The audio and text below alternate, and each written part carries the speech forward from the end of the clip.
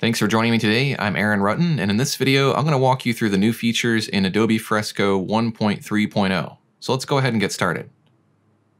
First, we have an update to the fill or the paint bucket tool. I'm going to go ahead and put down a little bit of paint here. This is just three different swatches of color that overlap.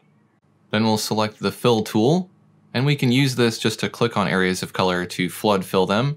I'm going to go ahead and do an undo here. If we hold down our shortcut button now by tapping and holding, now if we click, we're going to flood erase different areas of color, like so. Another update to the bucket or the fill tool is the ability to recolor your line art.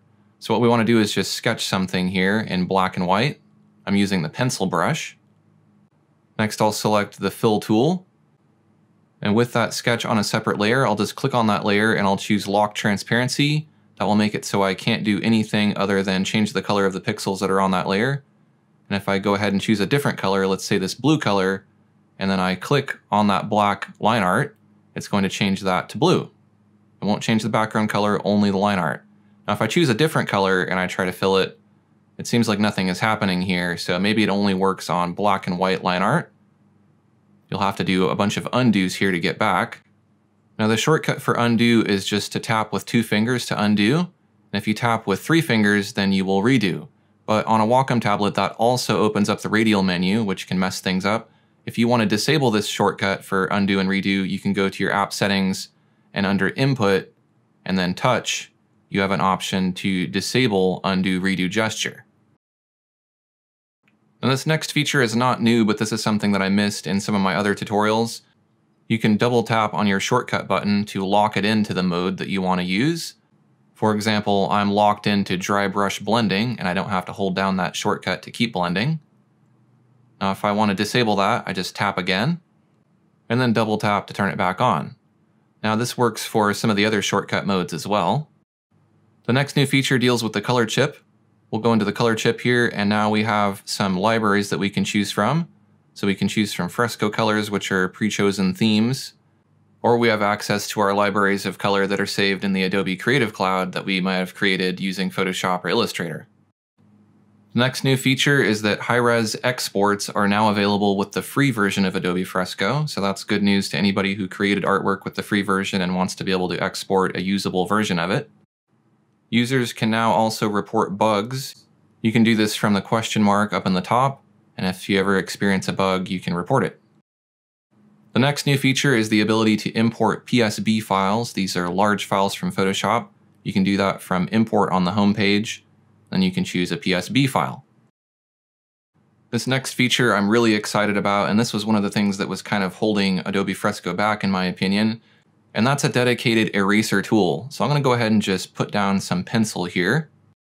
I'm going to tap and hold my shortcut button and just drag it to a better position here.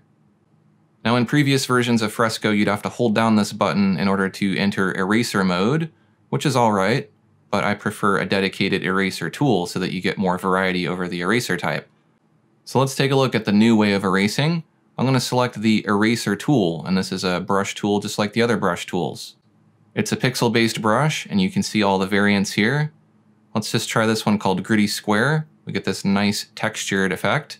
And this is maybe a bit too sharp and doesn't really work for getting a pencil look. So I'm to do some undos. Let's try another variant. Let's try rubber. This is kind of like a rubber eraser. And I really like the way this looks. It lifts the pencil in a nice natural way, leaving a little bit of residue on the paper.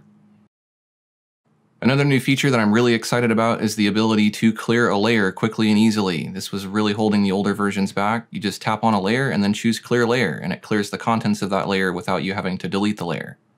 The next new feature is a straight edge tool. We can get to that down in the bottom right. And when we click on that, it puts up a ruler on our screen and we can move that around.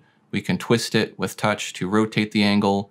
And then we draw along the side of the ruler like we would with a real ruler you can kind of drag it around and position it. It does feel a little bit sticky and it can be hard to move it precisely, but it works pretty well to get a nice straight edge. But there's yet another way to get a straight line, and that is to turn on an experimental feature. We're going to go to App Settings, and down at the bottom under Experimental, let's turn on Hold for Straight Line. Now if I start drawing, and I don't lift my pen up, I just tap and hold, it'll straighten my line, and then I'll continue to get a straight line that I can drag around and position wherever I like. You'll notice I'm also getting tilt in my line, so if I keep my pen more upright, then my line will be thinner. If I have it more at an angle, then my line will be thicker, as if I have my pencil tilted while I'm drawing on a ruler. This is a really cool feature and a really great way to draw straight lines. The next feature that we'll look at deals with the UI or the user interface. If we go to the app settings, we can now enable a light or a dark UI mode. I prefer the dark mode, and so that's what I'm using right now. Moving on to the next new feature, we can now nudge transformations. I'm going to go to the transform tool, and all I need to do is just tap with one finger repeatedly to nudge in a particular direction. So there I nudge to the right a bit, but just to show you how this is working, I'm going to create a new layer and just draw a vertical line here so that you can see how far this is moving when I'm tapping. So now I'll go ahead and go back to that layer that I want to nudge. I'll go back to the transform tool to enable transformation, and I'll just tap repeatedly. And this is nudging at one pixel, so if you have a very large canvas, it's not going to move very far. And if you hold down your shortcut button, then you can nudge in 10 pixel increments, which will move it around a lot faster. You can even nudge it diagonally if you go in the corners. And the last new feature that we'll take a look at is the ability to share a link. I'll go to my home menu here, I'll click on the menu button next to the image I want to share, and I'll choose share link. Now I can share just a preview of the artwork with people, or if I want to, I can share the ability to download the artwork itself. So those were some of the new updates in Adobe Fresco version 1.3.0. If you're interested in learning more about Adobe Fresco, I have a more in-depth tutorial you can check out. And if you'd like to download some custom brushes for Adobe Fresco, those are available on my website at aaronrutten.com. Thanks for watching, and I'll see you next time.